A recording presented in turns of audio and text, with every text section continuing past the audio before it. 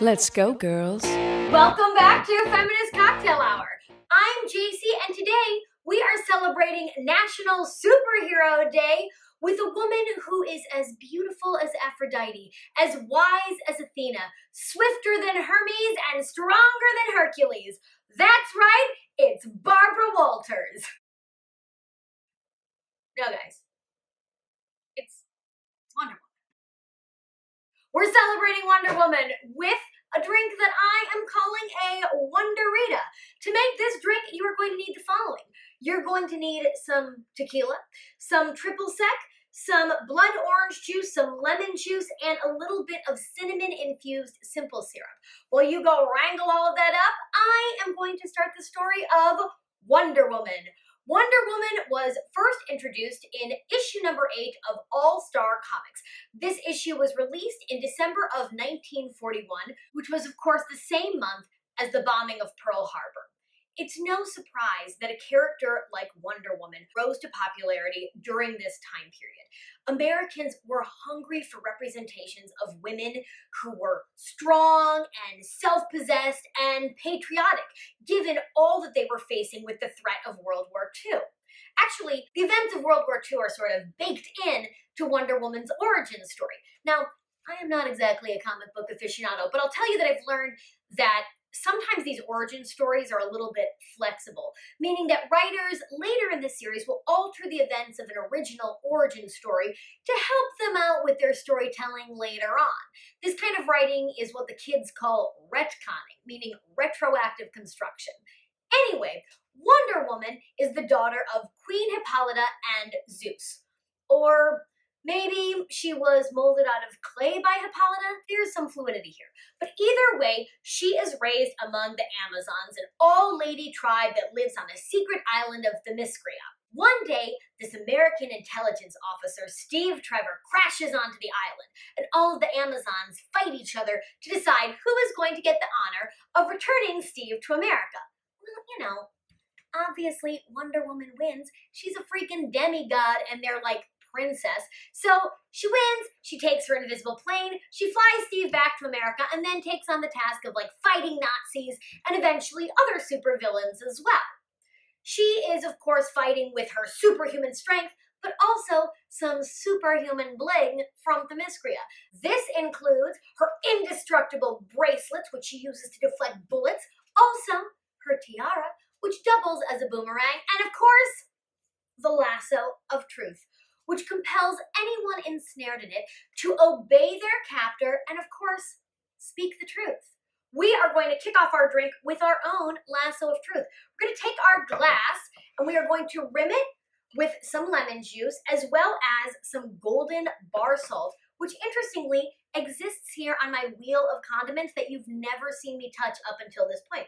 So we're to twist our glass into our lemon juice and then into our bar salt. I've actually added, though, a little bit of cinnamon and sugar into my bar salt mix just to highlight some of the flavors that we're working with in this cocktail. And you should get a nice, even golden lasso there on your glass. Now, being mere mortals, it may take more than the golden lasso for us to get some supervillains talking. So we are going to add some ice to our shaker, four or five cubes, and then some tequila. Two ounces of tequila, which always makes me a super chatty. Now, we know this story of Wonder Woman's origins in her fictitious world, but what about her real world origins? How did this character make her way onto the page? The answer to that lies in an unlikely author of comic books, one William Moulton Marston, who is not a writer at all, actually, but rather a Harvard educated professor, psychologist, and inventor. In fact, William was the inventor of the first systolic blood pressure test, which was a precursor to modern day lie detector tests. The idea for this invention actually came from his wife, Elizabeth, who noted that there might be a connection between blood pressure and emotion, realizing that every time she got excited or mad, that her blood pressure went up. That Elizabeth was full of good ideas. Now, the catalyst for Wonder Woman really came from an interview that Marston did with one of his former students, Olive Byrne.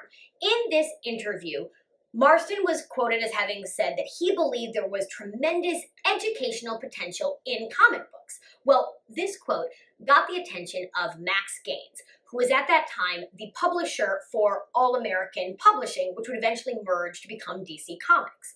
Gaines reached out to Marston and hired him as an educational consultant. Immediately, Marston was really excited about the idea of creating his very own superhero. Who wouldn't be psyched about that?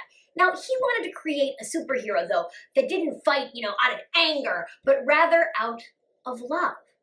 Elizabeth said, fine, but, you know, make her a woman. So, Marston did. He was actually like kind of a feminist in his way. The earliest influences on his creation of Wonder Woman came from early feminist theory, especially those espoused by Margaret Sanger in her book Women and the New Race. Now we're going to take a brief detour over to Margaret Sanger. We all know Margaret Sanger as an early activist for birth control. She is the person who founded a bunch of those early organizations that would eventually evolve to become Planned Parenthood. What is less well known about Margaret Sanger is that during her early activism, she was almost always accompanied by her sister Ethel. In fact, when Margaret Sanger tried to open a birth control clinic in 1917, it was Ethel who was jailed. She was put in prison, she went on a hunger strike, and she is the first documented female political prisoner who was subjected to the torture of force feeding. However, in most texts about this time period, Ethel is simply referred to as Margaret Sanger's sister. Ethel Byrne was not only Margaret Sanger's sister, she was also Olive Byrne's mother. Olive Byrne, remember her, the student who did the interview with William that led to Wonder Woman? In fact, Margaret Sanger, Olive's aunt, would often cite an incident with young Olive as being one of the events in her life that inspired her to fight for choice. Olive's parents had a very brief and tumultuous marriage, and it was Margaret who dug newborn Olive out of a snowbank after her drunk father threw her there. Now, Olive, along with Marston's wife Elizabeth, was one of the main inspirations for Wonder Woman. Both her appearance and, to some extent, her superpowers and her personality. The idea was to combine Elizabeth's strength and ambition and self possession with Olive's warmth and openness and naivete. Even Wonder Woman's bracelets were an homage to Olive, who didn't wear a wedding ring, but rather wore two copper bracelets to demonstrate her devotion to Elizabeth and William. Yes, that's right. Olive wasn't merely William's student, she was also his lover. She bore him two children who were raised alongside the two children that he had with Elizabeth, and the three of them lived in blissful polyamory for their entire lives. With Elizabeth acting as the primary breadwinner, Olive acting as the caretaker, and William acting as a man. I don't know, like, what are they even good for, guys? So, as a nod to this thruple, triple the love, triple the fun, triple the sec. Not sex, sec. We are adding a half ounce of triple sec to our cocktail, as well as a half ounce of some cinnamon simple syrup. I'm actually adding a cinnamon agave because I like the way the agave plays off the tequila. Then we are going to add a half ounce of our lemon juice. And last but not least, an ounce of, of course, our blood orange juice. Now, for a long time, Wonder Woman was a bloodless superhero. She believed that you should never have to kill an opponent unless it was absolutely necessary, which seems like common sense, but it's not necessarily superhero sense. It seems like from my research that Wonder Woman wasn't actually forced to kill an adversary until an issue in the 1970s. And this was so traumatic for Wonder Woman that it sent her into a year of self exile in order to recover. This is not to say that Wonder Woman is weak. On the contrary, in fact, her emotionality was designed to be her strength. Marston created her to be a superhero with all the physical strength of Superman, all the excellent gadgets of Batman, but with an emotional strength that neither of these boys possessed. Her power came from her tenderness. It came from occasionally like her submission, realizing that there is strength in that, strength in making peace. However, Marston only wrote Wonder Woman for like six years before he died. After 1947, Wonder Woman was written by a myriad of different writers and had a lot of different storylines and incarnations, some of which were pretty sexist. For instance, Wonder Woman joins the Justice League. You know, the DC version of the Avengers. When she joins up with them, they make her the motherfucking secretary, even though she is clearly much more powerful than several members of this group. I mean, come on. The Flash? Aquaman? Get the fuck real. In the 1950s and 60s, Wonder Woman was often depicted as like this lovesick simp mooning over Stephen Trevor. In the 1970s, she even lost her power for a time. She gave up her powers and lived all her life under her alias, Diana Prince, and she ran a mod clothing boutique.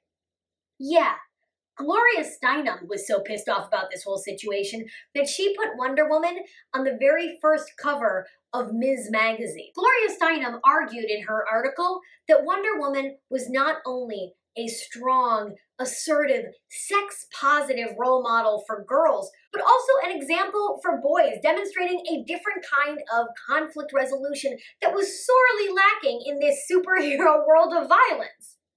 Now, of course, there are many iterations of Wonder Woman that are laden with girl power. Many issues of Wonder Woman have been written by women, beginning in the 1940s with Joye Hummel, who wrote some early issues of Wonder Woman, although she was not credited until much, much later, up till now with comic book writers like Gail Simone Omnibus. Of course, there was the TV show in the 70s with Lynda Carter, which inspired a whole generation of girls to run around their living rooms in leotards with lassos. And then in 2017, there was the film with Gal Gadot that renewed an interest in this enduring heroine. I have a renewed interest in this cocktail. We're gonna shake her up, and then we're going to pour it over ice into our glass. Once she's poured and strained, ooh, look at that color. It's matching. You know I love to coordinate some accessories. Speaking of which, we're gonna garnish with an accessory, a little lemon twist, lasso of truth. She's a pretty one. All right, let's taste it. Oh, it's good. It tastes like a margarita, of course, but you get not only the brightness from the citrus, you get a nice warmth from the cinnamon, which really speaks to Wonder Woman's ethos, right? The strength comes from warmth, from kindness, from love. There's a great quote in the Wonder Woman film in 2017 where Wonder Woman says, Ultimately, it's about what you believe in and I believe in love. Only love will truly save the world. It's true. Only love. And tequila. Love and tequila. I hope that you enjoyed this episode of Feminist Cocktail Hour. I'm going to be back tomorrow. I'm going to have another lady, another libation. Until then, cheers. Let's go, girls.